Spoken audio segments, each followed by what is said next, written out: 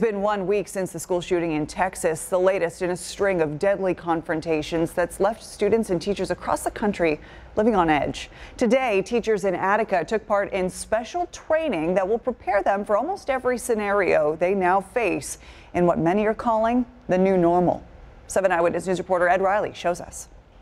As we've gone through several tragic incidents across the nation, we've come to recognize that we have to update our protocols and procedures. In today's world, teachers can no longer enter the classroom and just focus on reading, writing, and arithmetic. They have to also be prepared to act as first responders in a shooting or mass casualty incident. In trauma patients, the number one cause of death is uncontrolled life-threatening bleeding. Since Columbine, there have been several deadly school shootings, and that's why Attica Central school teachers took part in special training today, sponsored by Mercy Hospital, called Stop the Bleed. We don't know what's going to happen day to day, so being prepared for that in any way possible is important. It is much more than basic first aid. And I just have to keep telling myself it's okay, and then afterwards, when they're alive the next day, we did a good thing. EMS professionals taught the teachers how to properly insert special clot making gauze and their fingers into a gunshot wound to save a life.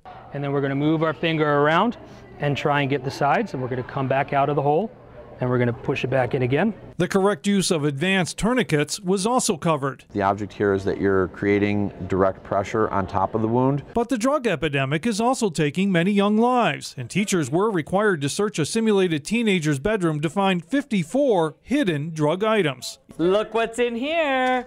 It was an eye opening experience created by the Genesee Council on Alcohol and Substance Abuse, as many drugs were found in watches, picture frames, false water bottles, deodorant, and even highlighters. I've never seen this before. So that's in your child's highlighter in their backpack or on their desk at home. The school district is also looking to update teacher go bags to make sure they include supplies for shootings and mass casualties as the evolution in school safety continues. In the village of Attica, Ed Riley, 7 Eyewitness News.